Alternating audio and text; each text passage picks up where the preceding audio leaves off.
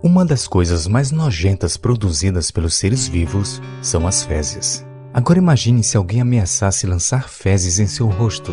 Como você se sentiria? Pois bem, é exatamente esta ameaça que encontramos no segundo capítulo do livro de Malaquias.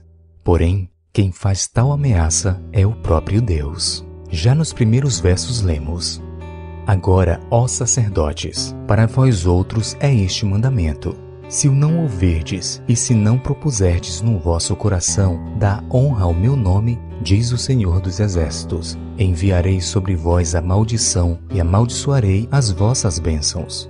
Já os tenho amaldiçoado, porque vós não propondes isso no coração.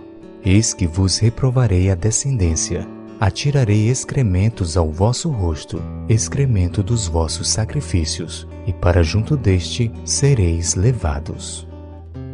Dois pontos me chamam a atenção nesta seção do livro de Malaquias.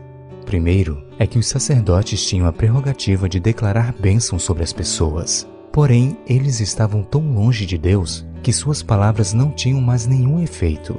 Deus então declarou que amaldiçoaria as bênçãos que eles proferiram. Isso mostra que líderes religiosos que vivem longe de Deus são uma maldição para a igreja ao invés de ser bênção. O segundo ponto tem a ver com o grau de rejeição que estes homens alcançaram aos olhos de Deus. No contexto dos rituais judaicos, quando havia sacrifício de animais, o esterco deveria ser removido do templo e queimado. Na repreensão de Malaquias, Deus afirma que levaria o esterco dos sacrifícios nos rostos dos sacerdotes e em seguida eles seriam lançados para fora do templo, para o mesmo local onde as fezes dos animais eram queimadas.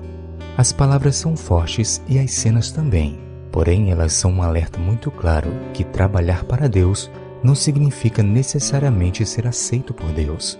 Sem dúvidas, no inferno haverá uma grande ala de pessoas que trabalharam na obra de Deus, mas viviam distante dele.